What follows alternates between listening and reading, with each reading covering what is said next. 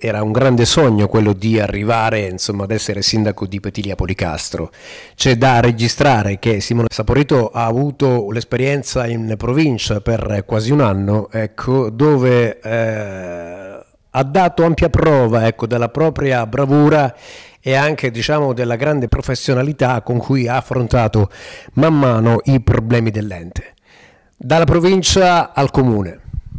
Sì, dalla provincia al comune è passato in mezzo un quasi sei mesi di commissariamento in cui il comune di Petiglia è stato gestito dal dottore Mannino e da due subcommissari, dottoressa Morè e dottore Cataldi. Eh, siamo arrivati in questa campagna elettorale un pochettino in attesa perché ad agosto quando è uscito il decreto del Ministero dell'Interno c'era eh, incredulità nel fatto che Petilia fosse all'interno del decreto, quindi anche Petilia eh, venisse chiamata al voto.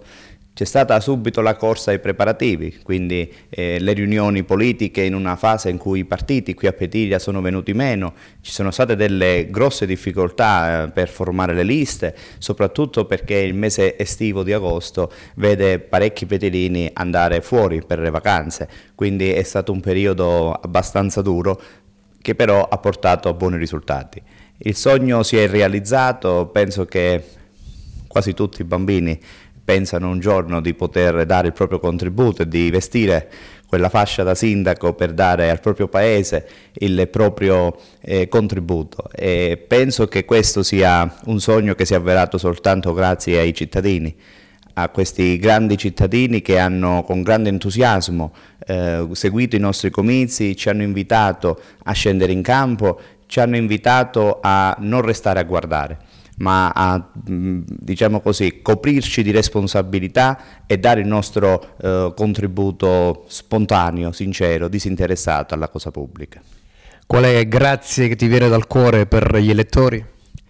Beh, grazie a tutti gli elettori, eh, un grazie sincero perché abbiamo visto un entusiasmo trainante, un entusiasmo che molti eh, petilini mi dicono non si vedeva per le strade nel paese ai tempi del compianto sindaco Michelangelo Tavernese, quindi parliamo a fine anni 90, primissimi del 2000 e quindi proprio a lui abbiamo deciso di dedicare questa vittoria e soprattutto ripartire perché in quegli anni ci fu un cambio generazionale anche di classe dirigente, politico-amministrativa qui a Petiglia Policastro, più o meno quello che sta avvenendo in questi giorni.